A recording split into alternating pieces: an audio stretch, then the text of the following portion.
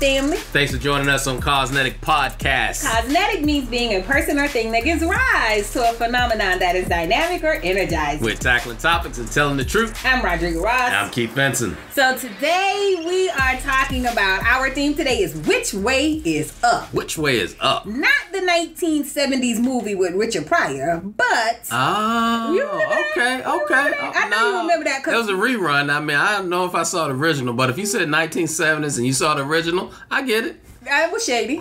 That's not what I was saying. But Oh. in this particular instance, Uh-huh. which way is up means how are people learning to lead through a pivot with innovation? Like this word pivot, it has gotten all kinds of fancy here lately. Everyone is pivoting, right? Right. And so, how do you lead through these pivots, through these sudden changes, through these course corrections with innovation? So there are a few ways that you can pivot, right? Mm-hmm. So there's like market, product, and organization. Let me break that down a little bit. So with Okay, the, okay. Break- the- you gonna break it down? Break it down just a little bit. Oh, okay, So okay. with the market pivot it's when your organization changes its customer base. You know, so Mm-hmm. like you, you gotta you change your customer base, and then or it's the way that it delivers value to its customers. Okay.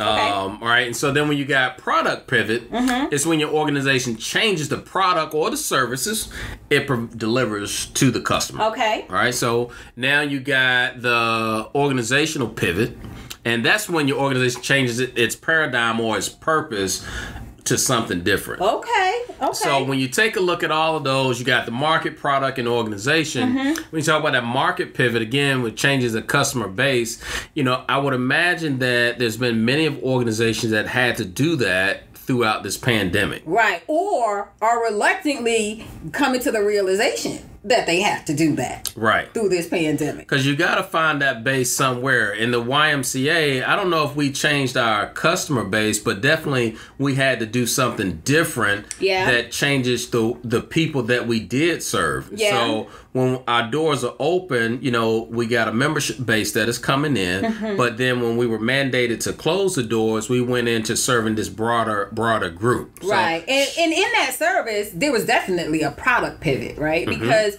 even with our doors open, the market that we would typically serve weren't coming in, at least not in the same levels that they were during pre pandemic. And so there were definitely some products and services that we had to pivot and change and offer in a different way. Um, because of our current circumstances as an organization. But for sure, though, from an organizational pivot, we did make that change right there because Mm-hmm. Yeah. we went from this whole delivery of coming to the four walls and you can utilize some space in here to, Mm-hmm. to work out, to get healthy in. And yes, we were still doing some outreach outreach work then at that time, but definitely when the mandate was there, we had to shift our, our purpose Oh, and become this you know where we serve food to people where we open up for for child care for uh, Mm-hmm. individuals we went online to be able to provide education for for uh for individuals Mm-hmm. we created these learning academies all this uh that that place that we had to shift Yeah. because we had to do something different and as a result of all of that right there we were able to see more um revenue come in from the Right. standpoint of people I, I say revenue yes it was revenue but contributions is a mostly better word. contributions yeah. yeah yeah, And, and i think that's because in that organizational pivot right where we had to change our paradigm people really could understand in a greater way the purpose of what the ymca was doing and what it's here for and, and why we exist. You know unfortunately sometimes because it's the easier way to do business we got really transactional mm-hmm. as an organization. And we were selling our products right to the market all Right. these widgets. But when we couldn't do that the same way we kind of froze for a minute like oh snap. Well what do we do now um, and, and and there is a paradigm shift. And i will tell you some people really struggled with that. Like they they just were like no this is a temporary thing. We'll just sit here and wait. And then we'll go back to selling our widgets the same as usual. But it has become apparent and ev- evident to just about everyone, even when we get on the other side of this pandemic, things are not going to go back to what they were on March 10th of 2020. It, that that is in the past. It's going in the history books.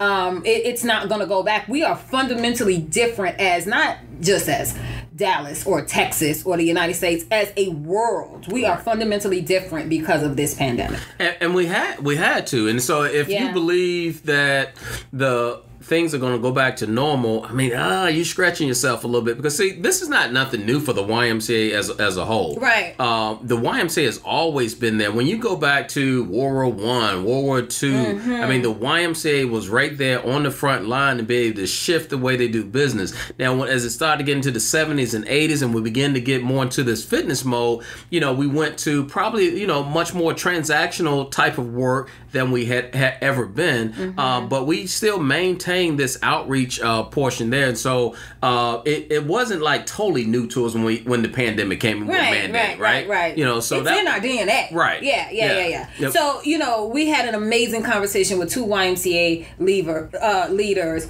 Jorge Perez, um, the the president and CEO out of Greater Cincinnati, um, and Stephen Ives, the president and CEO out of Houston, who are clearly pivot masters, right? Like the way they have shifted their organizations during this time has been awe inspiring. And what Jorge said was that you know, you can't get used to this little tool because the tools are temporary. So, yeah, this is how the YMCA looks today. We do these Zumba classes, we offer this in our branch, we have these new state of the art ellipticals where you can watch TV and all that. But the reality is that this is just a temporary state of being. We got to hold tight to that transformational thing and and always remember our ability to pivot. And he brought up a really great point that I had never thought of. He was like, just think years ago when YMCA just about every YMCA had dormitories, mm-hmm. right? Where mm-hmm. people you he and he pointed out the the Village People song YMCA. It's going to stay.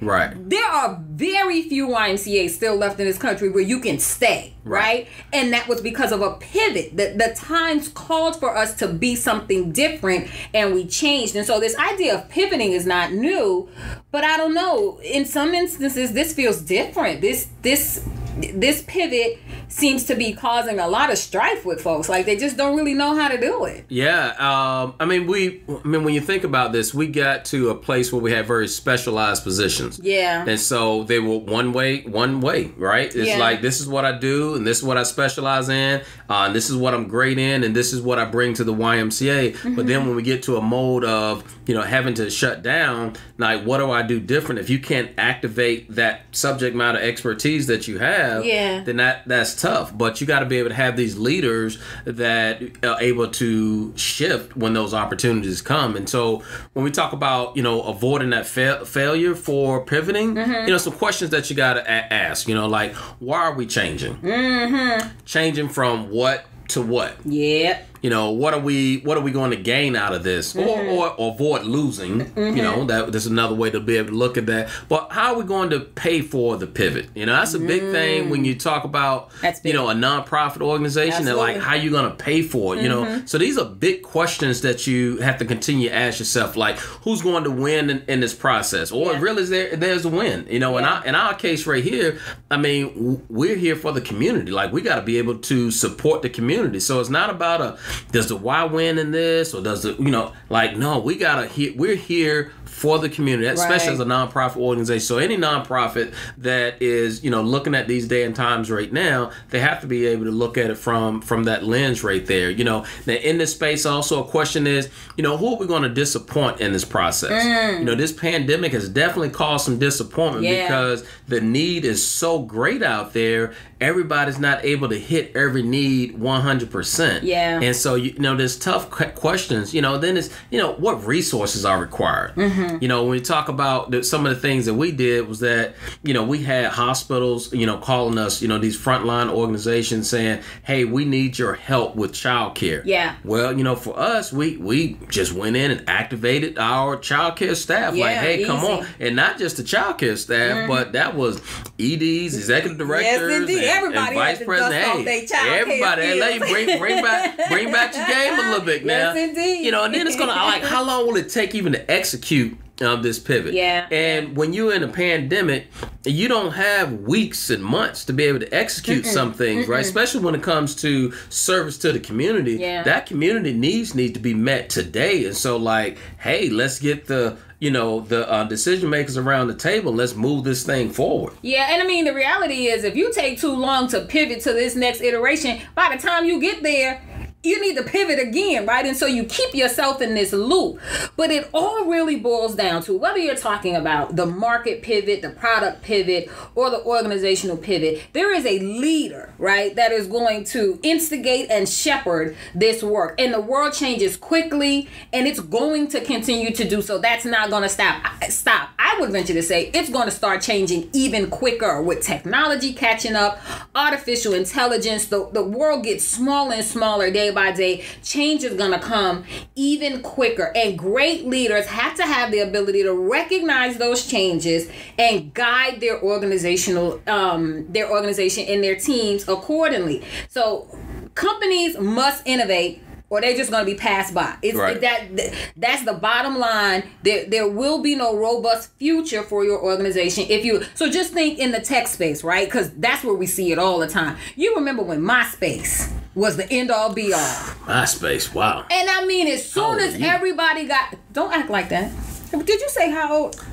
I was just wondering. I mean, because that think was a while were. ago. Yeah, uh-huh. Yeah. Like I said, Yeah. MySpace. but when you when you could just really wrap your head around MySpace and what it could do to to convene communities, it was a thing of the past. We were on the Facebook, and just when people like you, the older generation, Yes. Get all happy and excited about Facebook, the younger generation is like, "Face what? Ain't nobody on no Facebook. You fifty dollars." they they'd have moved on to what was What it? they moved on to, Key? uh, TikTok. Oh snap! You got it. they are in I've, fact on TikTok. I've done a couple of. You uh, you've done TikToks? Yes. I don't want to see them. I don't. Nope. They're on TikTok. They're on Snapchat. They're on the gram. They're on all kinds of things. Just the speed of how technology. And if you don't innovate and learn how to interface with those things, then you, you're missing whole swaths of of the population. The ability to pivot is critical for organizations operating today to stay hyper competitive and dynamic, right, in their spaces. You you got to be able to, to to change directions. Yeah, I mean, shift, shift, shift, shift, shift, shift, shift. How many shifts? you, huh? How many shifts? nah, I- that's gonna trip me up here. You don't say it too many times. But this whole this whole place that people got to change, and you know what I was uh, glad of is that you know I recall when we got a group together, what we call our Catalyst team. yes, I love the and catalyst, the Catalyst team. team. was all about, you know what? We're not the processing team. Nope. We are. We're gonna talk We- about it this one conversation, And we're gonna do it. We're gonna get it done. That's right. And That's right. I mean, with that team right there, there was many things. You know, Susana De- Delgado Gray. Yes. You know, she went out there and said, "Hey, look, uh, I'll take those twenty-one thousand books." Tw- thousand. Twenty-one thousand, and Yes, and did. people was like, "Well, how you how you gonna get the books to a place, and how you gonna disperse those?" And within moments, Gone. she had it done The books were gone. and dispersed to Yes, deserving individuals, Yep. organizations to be able to get books into the hands of young Absolutely. people so that they can create their own little libraries in their in their home. Yep, yep, you yep. know, uh, Kristen Kelly. Kristen Kelly said those babies need milk. And on the drop of a dime, she had orchestrated a partnership with so many milk companies that the, the uh, kids in Dallas should have the strongest bones ever. As much milk as we were able to get into the hands of families and kids, along with nutritious snacks and meals, because she was like, "Here's the need. We have to pivot."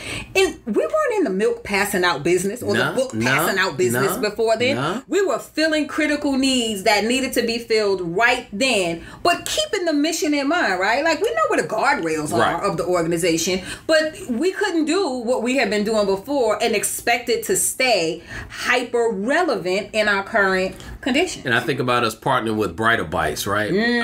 Uh, man, Brighter Bites, we were passing out probably over 2,000 boxes of, uh, or more I mean, a week. beautiful produce, Yeah. a beautiful, amazing. And what I loved about that was that that produce would be um, items that typically, if you're in an under-resourced neighborhood, you really would have a hard time getting access to that kind of stuff, like Mm-hmm. bok choy and eggplant. And if you did have access, sometimes the cost of it is prohibitive. But now you got it in this box, and you're you're able to experience all these new flavors and recipes and eat well. And Brighter Bites does an amazing time, uh, uh, amazing job job with sourcing some of the most beautiful produce uh, that I've ever seen. It, Yeah. It's amazing. And our focus was on on the customer, and the customer Yeah. at that time was you know the community um, at large, and Mm-hmm. we knew that there was a need right there. We knew that we had to quickly be able to go out there and meet that need because once that, uh, as we talk about pivoting, once you find that that validation from the customer that, that there's a need, Yeah. it is now about activating that. How fast can you get that uh, that product um, out there to them? And so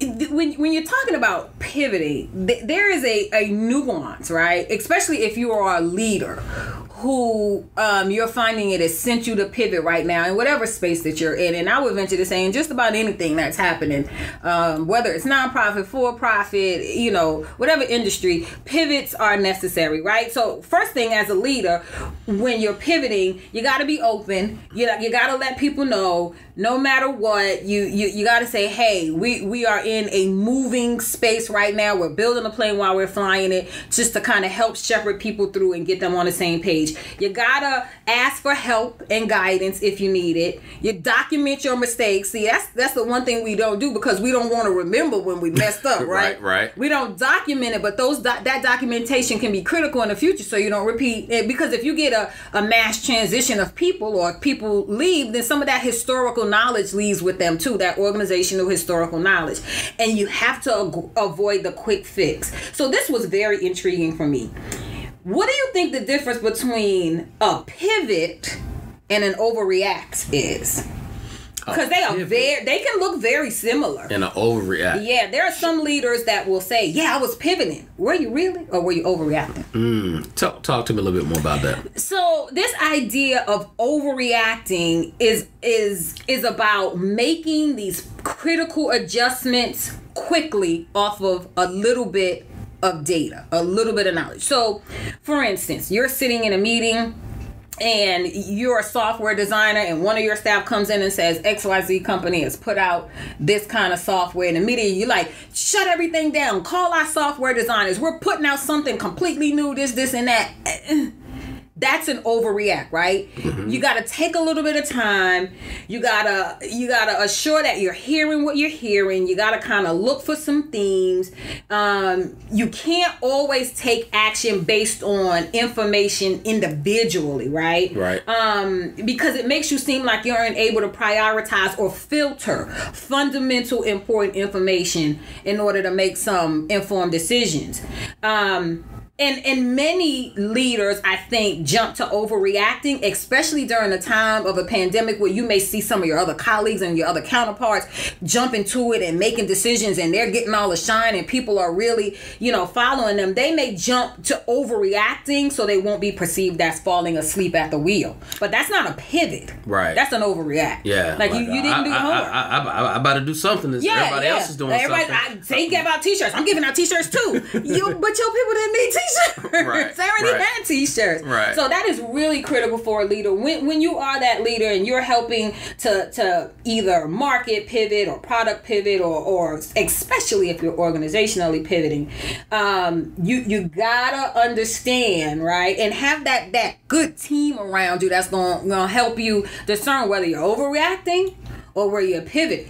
Yeah, because you definitely got to have that team to balance balance you out. Yeah. and really have those very um, strategic thinkers around you. Yeah. and not those overreacting type type of leaders. And so Mm-hmm. during this time right now, it's like you got to have those strategists around you so that you can still focus in on the future. And yes, you got to take care of today also. And there's a there's a fine balance in it all. Yeah. you know, so many people have done a whole lot of different things, and uh, we would love to hear from uh, the listeners out there as to what are some of the things that you've done during this pandemic to be able to pivot. Not Uh, overreact. Yeah, not overreact, uh, but to, to innovate Yeah. in that whole process. So thank you for listening to Causenetic. Where we are tackling topics and telling the truth. Subscribe and listen to us weekly. And don't be shy. Give us a review. And as always, be dynamic, be phenomenal. Be Causenetic.